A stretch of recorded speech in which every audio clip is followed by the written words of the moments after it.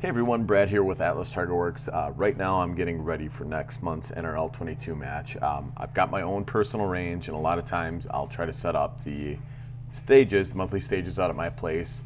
Um, it typically works really well to have stuff kind of ready the day of uh, for the match. So getting all this stuff beforehand allows me a chance to practice. You know, some months I set it up and and don't even get to shoot it. Some months I don't even set it up at all. Actually, that's the way it's been going a lot lately. It's been a busy summer, but uh, kind of getting back in the thing, the swing of things. It's we're getting into fall here, and things are slowing down for me personally. So I've got a little bit more time. So I'm getting ready, and just wanted to share my process, um, our process, Jake and I's with uh, you guys. You may have something better. You may have a better process.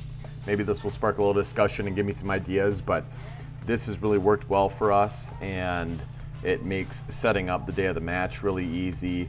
You know, I've seen some posts talking about the struggle of getting, you know, help with everything like that, and this would definitely help a lot of you, I think, in uh, getting prepared beforehand, doing some things behind the scenes, um, as well as just making it easier the day of, so that way you can go out and set up. Uh, we set up the morning of the match and tear down immediately after so there's no multi-day things having to deal with, you know, keeping the range to ourselves or worrying about that type of stuff. So it works really well. Now, you may be wondering why I'm at my computer.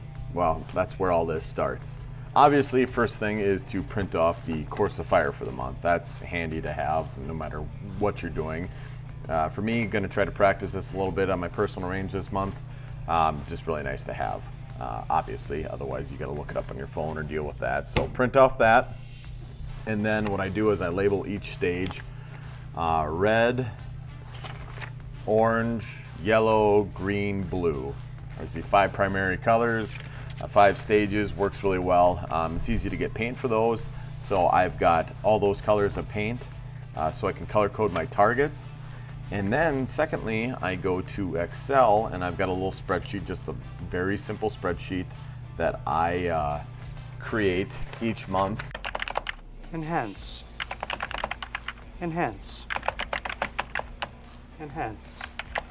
Just print the damn thing! For uh, helping lay things out on the range. So I've got a little code and I'll put up a screenshot of this on the video so you can follow along. But um, as you can see, I've got the stages one through five, red, orange, yellow, green, blue, and then I have the ranges listed out. So the, the column on the left side, the far left column is the ranges that are used for this month's match. And then I've got it listed. So on the top left there, you can see one inch single hook, or yeah, one inch single hook and a, at 42 yards and a three inch single hook at 93 yards. So I know the, the size of the target and the stand it's using. So I just go through and just quickly do that for all of them so that way I don't have to be flipping through pages, doing all that. Plus, as you'll see in a little bit, when I go down range with all the targets, I can just set stuff up as I go along. I don't have to go stage one, go down the range and, and set the two targets up and then go stage two and then backtrack and do a bunch of back and forth because all that takes time. So this little cheat sheet really helps that move along smoothly. Um, and then underneath there, I just list out all the uh, barricades that I need. So uh, that's just for me to get them on the trailer all at once instead of having to flip through the uh, monthly course of fire. It just allows me to be able to quickly do that. I can I take my four wheeler out with my trailer and I can throw them all on there and take them to the firing line. So this is just a reference sheet. This is solely used for setting up, but it really does help. The little bit of time it takes me to type this out saves a bunch of time having to go back and forth and uh, just kind of make things slower when you're out there on the range. So I've got this cheat sheet printed out. I got the course of fire. I'm going to head out eventually. I don't know if it'll be right now. It's getting kind of late in the evening. Just wanted to get this wrapped up, but I'm going to be headed out to my target barn and I will uh, show you uh, in the next segment how I get the targets ready for the month. So see you out there. All right, now that I've got my printout here, I've got all my targets that we just kind of as we left them after the last match. So I'm going to pull these out compare them against the list that I've got here and just set them into separate stages, into the five stages for this month's match. New swallow nest. Ended up getting, they made a nest over top of my targets and pooped all over all of them. Yep, and I knew I'd forget something. I forgot my, uh, forgot my tape measure.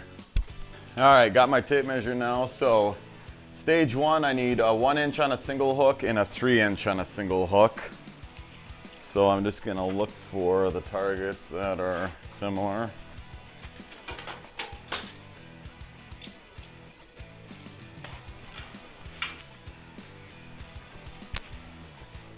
So it appears that we didn't use the one inch last month.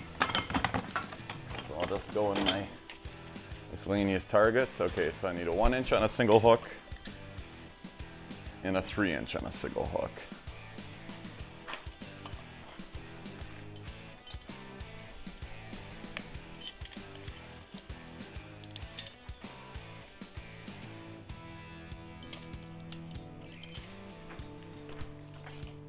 And here we got a three inch. So I got my one inch and a three inch on single hooks.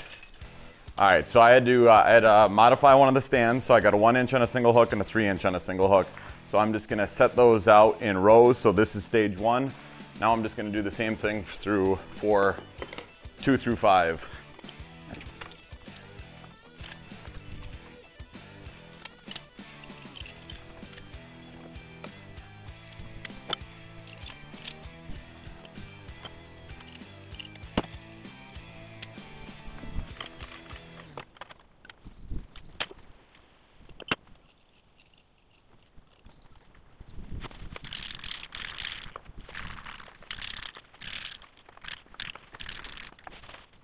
All right, so I got these all laid out. Um, each, uh, each stage one through five here, all the targets for this month. And now I've got my red, orange, yellow, green, and blue paint. And I'm just gonna paint each stage its color.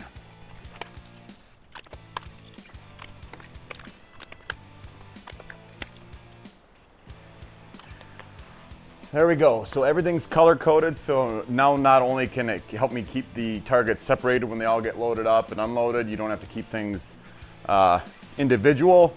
Uh, you don't have to measure them again when you get out to the range. You can just transport them right, right like this. If you were getting ready for a match, you were gonna shoot it tomorrow, you wanted to have everything ready today before, you could do exactly this, set them all up, and then use your cheat sheet once you get out to the range to set the uh, targets up at the appropriate distances. I'm going to set them up on my range, which I don't have the same width that some ranges have, so my targets are closer together. So the color also helps me differentiate them when I'm practicing. I can look down and go, okay, I gotta shoot the red targets for stage one or the yellow target for stage three. Really helps simplify that. So I'm gonna load these up on my trailer on my ATV and go set them up on the range.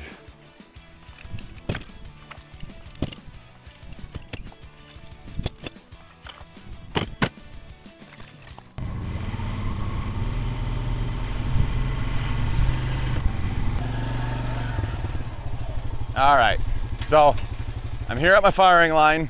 and It's a little breezy out here today. Uh, I got all the targets on the trailer and then downrange. Um, probably won't be able to see it on this camera, but I have got my yardages marked off uh, from 25 yards out to 100. I got them staked off every five yards. So if I've got a guess on yardage, it's only a pace or two. So I don't bother ranging when I set up my targets. I know where my, my firing line is and, and all the yardages. At this point, if you were gonna set them up on your own range or for a match, you would just wanna have some sort of target on each bay that you could, or each firing line that you could range back to and set up the appropriate distances for your targets. So I'm just gonna go down. Uh, this is where this, uh, um, this cheat sheet's really gonna shine. I can just go downrange once and set up all my targets at one time instead of flipping through pages and trying to keep track of where everything's at and you know what stage has what targets at what range. So I've got it all on one sheet. So as I can go down, as I go down, I can see the first one's at 42 yards on stage one. So I'll just go down there and start setting up targets.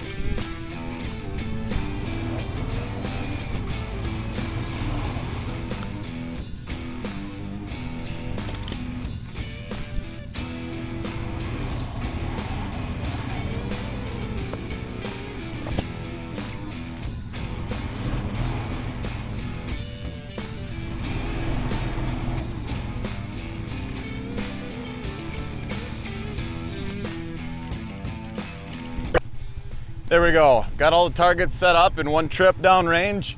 Now I'm just gonna go back and get the uh, barricades for the firing line.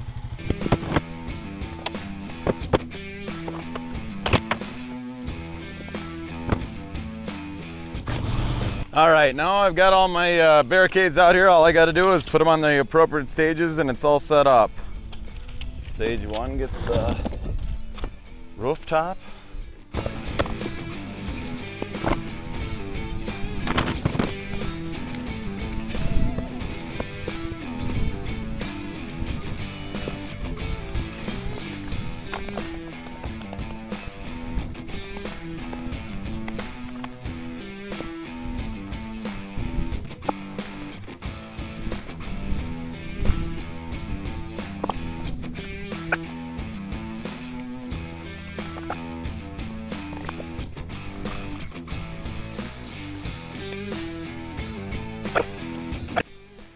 All right, there you have it. Got everything all set up, ready to uh, go get my gear and actually start shooting. Um, I got the, all the barricades set up, everything's ready to go, so I can hopefully get some practice in and do a little bit better this month.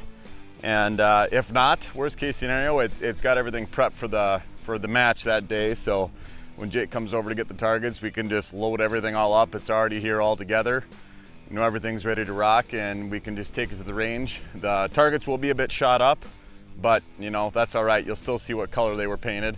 So everything's color coded. We'll take them out the day of the range.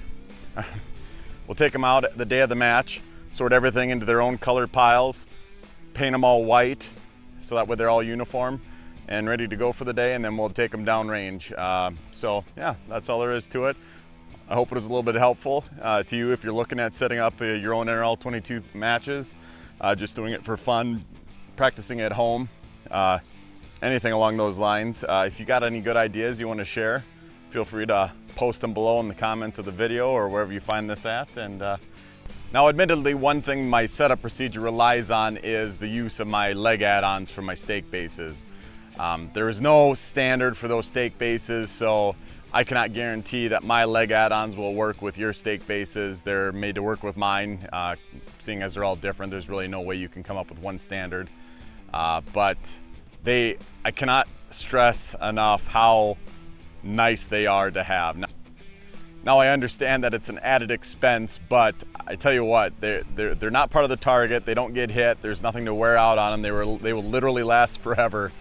And they make setup so much easier when you can just have, you know, instead of laying all your targets down on the back of the pickup where they can rattle and jostle and get knocked off, end up getting knocked loose. Um, when you're setting them up, you know, you, get, you they have to lay down all the time. Having them on something that can hold the stand vertical, hold the target vertically, and be easily portable without staking to the ground is huge. Uh, as you saw in the trailer, it was easy to set them all in there. It's the same way in the back of the pickup. We throw them all in the back of the pickup, haul them to the range, all the targets are still on the hooks. Everything is all ready to rock when we get there. Plus it gives you a little bit of added height when if the range has got a little bit taller grass or up here in the northern states and South Dakota, we uh, when the ground freezes, we shoot these matches all all year long. You know, it's January, February, March, those cold, nasty months we're still shooting and there's just no way to get a stake base in the ground. So it's really nice. You can set it up on top. Heck, even if you got snow drifts, you can set the targets up on top of that. So they really are nice for a number of a number of reasons and I definitely think they're worth the investment. Now obviously my opinion is biased but as you can see from the reviews online and I've talked to quite a few people at matches I've shot at and other uh, match directors in the state and they are they are just a heaven sent uh, considering how much nicer they are than having to stake each basin individually. So you can check those out at atlastargetworks.com.